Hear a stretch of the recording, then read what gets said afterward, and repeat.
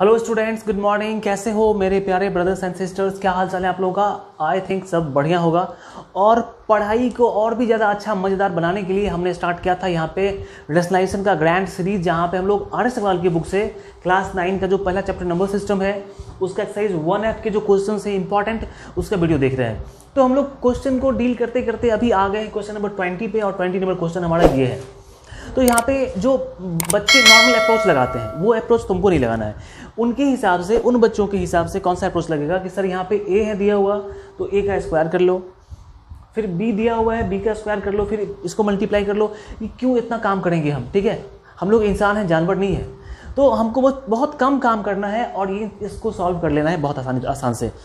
तुम्हें कुछ दिखाई पड़ा होगा आई थिंक या फिर दिखाई नहीं पड़ रहा होगा तो मैं दिखाता हूँ। जरा सा गौर से देखो। यहाँ पे ए और यहाँ पे बी है। अगर सोचो कि अगर मैं ए और बी को मल्टीप्लाई कर दूँ तो गौर से देखो क्या होगा। क्या होगा? ऊपर में root three minus root two है और नीचे में root three minus root two है। जब मल्टीप्लाई होगा तो ये दोनों कट जाएगा। फिर नीचे में root three plus root two है और ऊपर में root three plus root two है। तो अगर हम ए बी को मल्टीप्लाई कर दें तो ये पूरा का पूरा कैंसिल ही हो जाए। कमाल की बात है। मतलब मैं समझ गया कि अच्छा भाई ये जो ए बी है ना, ये बस दिखाने के लिए, डराने के लिए रखा है फाइव ने अपने पास में। इस ए बी का कोई मतलब ही नहीं है। ये तो पूरा कैंसिल होकर कितना बचेगा? वन बचेगा। तो चलो, पहला काम तो सॉल्व हो गया। लेकिन अभी स्क्वायर करने वाली बात तो रह गई, है ना? उसको भी सॉर्ट आउट कर ही लेते हैं। देखो अब क्या काम करते हैं। तो हमने यहाँ पे क्या काम करना है कि मैं यहाँ पे खींच देता हूँ इंडिया पाकिस्तान का बॉर्डर और हमारे पास में जो ये है अभी, इसको मैं सॉल्व करता हूँ। थोड़ा सा दिमाग लगा लेना, ठीक है? तो बहुत ज़्यादा अच्छा बहुत ज़्यादा मतलब क्लैरिटी आ जाएगी। यहाँ पे हमने क्या करना कि ए स्क्वायर तो सही है बी स्क्वायर भी सही है। और मैं क्या करता हूँ कि माइनस फाइव ए बी में से कहता हूँ कि भाई, एक काम करो, थोड़ा एहसान करो मुझ पर माइनस टू ए बी मेरे को दे दो, ठीक है? ज़िंदगी भर तुम्हारा हम इस कर्ज को नहीं बोलेंगे इस बेचारे ने क्या किया? इमोशनल होके माइनस टू ए बी इसको दे दिया। ठीक है? तो अब कितना बचा इसके पास में? इसके पास में बच गया माइनस थ्री ए बी, है ना? और हमने जैसे ही उसने टू ए बी दिया, बस हमने इसको घेर लिया। और कहा कि बेटा, अब तुम मेरे चंगुल से बचे कहाँ जाओगे? मतलब बात ये हो गई कि ये देखो क्या फॉर्मेट बन गया। ये a square plus b square minus two a b ये तो ए माइनस बी का स्क्वायर होता है। और यहाँ क्या बच गया? Minus three a b. अब मेरे को पता है कि ये ए बी तो हाथी वाला दांत है, दिखाने वाला, ठीक है? सिर्फ़ डराने के लिए, इसका कोई मतलब ही नहीं है। तो मेरे को अब क्या निकालना है? मेरे को निकालना है ए माइनस बी, ठीक है? बस मैं इतना निकालूँगा, यहाँ पे तो मल्टीप्लाई होकर वन ही हो जाएगा। देखा कितना शॉर्ट हो गया? अब और शॉर्ट करते हैं। तुम क्या करोगे कि ए और बी का वैल्यू ऐसे डालोगे? तो तुम तो उसे डालोगे नहीं। तुम इसको रेशनलाइज करोगे। लेकिन मैंने सिखाया था तुमको रेशनलाइजेशन में इंट्रोडक्शन वाले में। कि बेटा जब भी ना नीचे वाला डिनोमिनेटर ए प्लस बी और ए माइनस बी के फॉर्म का हो तो उसको हम रेशनलाइज नहीं करेंगे, ठीक है? उसको हम रेशनलाइज नहीं करेंगे सिंपली क्या करेंगे, हम ए माइनस बी फाइंड कर लेते हैं ऑटोमेटिकली वो रेशनलाइज हो जाएगा, ठीक है? याद रखना, जब भी कोई वैल्यू फाइंड करना हो, ठीक है? तो वहाँ पे देखना चेक करना डिनोमिनेटर को, कि अगर ए प्लस बी का फॉर्म भी है इसमें, और इसमें ए माइनस बी का फॉर्म है तो समझिएगा अच्छा ये ए प्लस बी और ए माइनस बी का फॉर्म है एलसीएम लेंगे तो वो फिर वहाँ पे कैंसिल हो जाए। कैसे होता है? समझो समझो। मैं क्या करता हूँ, इस ए माइनस बी को यहाँ पे निकाल लो, या फिर यहाँ पे निकाल लो, कोई दिक्कत नहीं है। मैं यहीं पे निकाल लेता हूँ। नाउ इसी चक्कर मार्कर सूख गया। देखो, कमाल है। हाँ देख पा रहे हो? मैं थोड़ा सा इंक डाल देता हूँ उसमें अब मैं निकाल लेता हूँ ए माइनस बी ठीक है? तो कितना हमारे पास में ए कितना मेरे पास में है? Root three minus root two by root three plus root two ठीक है? और क्या माइनस करना है तो माइनस कर लिया। Root three plus root two हमने ये बी लिखा। बी के बदले हमने ये लिखा है। समझ में आ रही है क्या? हाँ? ये हमने ए का वैल्यू लिखा और ये बी का वैल्यू बीच में माइनस है। अभी मेरे को क्या करना है कि देखो, मैं बस करूँगा, इसका एलसीएम ले लेता हूँ, ठीक है? ऑटोमेटिकली ए प्लस बी और ए माइनस बी एलसीएम लेने पे क्या होता है, जब सेम नंबर नहीं है तो एलसीएम जब लेते हैं तो वो मल्टीप्लाई हो जाता है, ठीक है? तो हम क्या करते हैं, इसको मल्टीप्लाई कर लेते हैं। मल्टीप्लाई करेंगे root three plus root two root three minus root two okay अब एक बात समझो जरा सा। अब क्या करना है कि इसमें डिवाइड करना है इससे। तो इससे root three plus root two से डिवाइड करूँगा तो इससे root three plus root two cancel हो जाएगा। इसे डिवाइड करने पे क्या बचेगा? Root three minus root two और उसको मल्टीप्लाई करना पड़ेगा इससे ऊपर वाले से। ऊपर में भी root three minus root two ही है। तो दो बार मल्टीप्लाई होगा तो ये बन जाएगा root three minus root two का स्क्वायर माइनस फिर मैं क्या करूँगा कि root three minus root two से डिवाइड करूँगा इस पूरे को तो ये कैंसिल हो जाएगा, ठीक है? फिर क्या बचेगा? Root three plus root two और root three plus root two को मल्टीप्लाई करूँगा इससे तो यहाँ भी सेम ही है तो फिर यहाँ पे स्क्वायर बनेगा। सो so फाइनली क्या आ गया?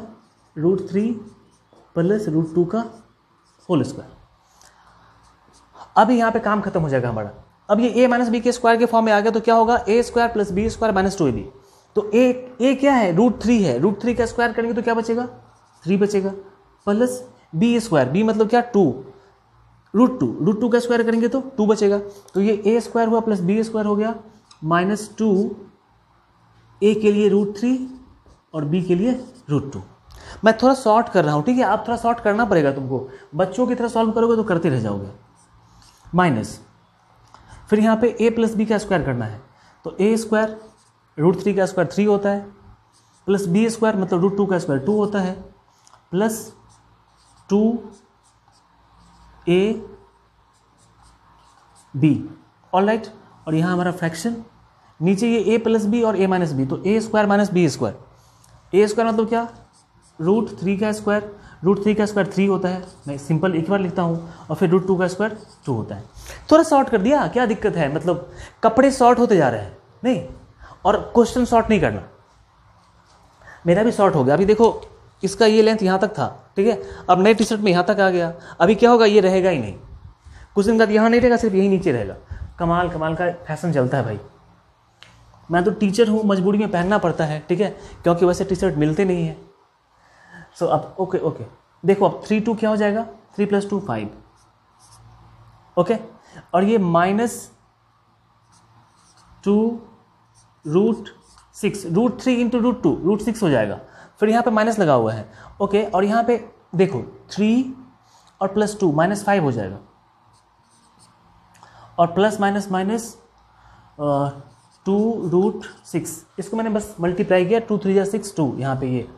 ये थ्री टू प्लस ये हो गया, सब समझ समझ में आ रही बात ना? तुम गौर से एक बार खुद से कर लेना। यार, यहाँ पे तो कमाल हो गया हाँ? देखो, ये तो कैंसिल हो जाएगा। ये फाइव और ये फाइव तो कैंसिल हो गया, ठीक है? तो अभी हमारे पास में बचा क्या? अभी हमारे पास में बच गया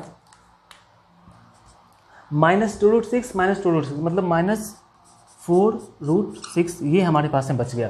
ठीक है? ए माइनस बी कितना आ गया? Minus four root six. That's it इतनी सी बात थी। ओके अब क्या करना है? इसका वैल्यू हम वहाँ पे पुट कर देते हैं और काम खत्म हो जाएगा। तो ए माइनस बी कितना है भाई? माइनस फोर रूट सिक्स इसका स्क्वायर करना है, माइनस थ्री। और ए बी तो इसको पता है कि मैं इसको मल्टीप्लाई करूँगा, वन होगा, लेकिन मैं दिखाने के लिए लिख देता हूँ। Root three minus root two by root three plus root two. इसको मल्टीप्लाई करना है, root three plus root two, root three minus root two. अब देखो ये कैंसिल हो जाएगा। कैसे कैंसिल होगा? ये कटेगा, खच से कट जाएगा, ये भी खच से कटेगा। ठीक है? खच मतलब काटते उतने आवाज़ आती है। अभी इसका स्क्वायर करते हैं। फोर का स्क्वायर सिक्सटीन हो जाएगा। फोर का स्क्वायर माइनस का स्क्वायर प्लस माइनस गया। फोर का स्क्वायर सिक्सटीन ओके और रूट सिक्स का स्क्वायर सिक्स होता है। माइनस ये बचा सिर्फ़ थ्री सोलह का टेबल आता है भाई, सोलह पंचायत, सोलह नाइन्टी सिक्स होता है। नाइन्टी थ्री जो है आंसर ठीक है? चेक कर लो तुम। चेक कर लो। देखो, कितना आसान था। मतलब यहाँ पे इतना कुछ करने से अच्छा है कि हम सिंपली इतना काम कर ले, बस ए माइनस बी निकाला। मैंने कहाँ कुछ निकाला? मैंने कुछ तो नहीं किया। मैंने सिर्फ़ ए माइनस बी निकाला। वैसे क्या करना पड़ता? ए का स्क्वायर करना पड़ता। बी का स्क्वायर करना होता। फिर फाइव ए बी निकालना होता मल्टीप्लाई करके। So we have to follow the same process बहुत आसान है। देखो क्लास नाइन का मैथमेटिक्स मेरे हिसाब से, ठीक है? मैं एज ए टीचर नहीं। एज ए स्टूडेंट बोल रहा हूँ कि बहुत आसान है। बस सही अप्रोच तुमको पता नहीं चलेगा तो फिर डिफ़िकल्ट लगेगा ही। समझ पा रहे हो ना? मतलब शर्ट पहनने का शर्ट लोग बॉडी में पहनते हैं। तुमको कोई शर्ट कहेगा, पैर में पहन लो तो पहनने में बड़ा अजीब लगेगा ही। उसी तरह से अगर सही प्रोसेस से नहीं बनाओगे क्वेश्चंस को तो तुमको लगेगा कि बहुत डिफ़िकल्ट है। वो डिफ़िकल्ट नहीं है।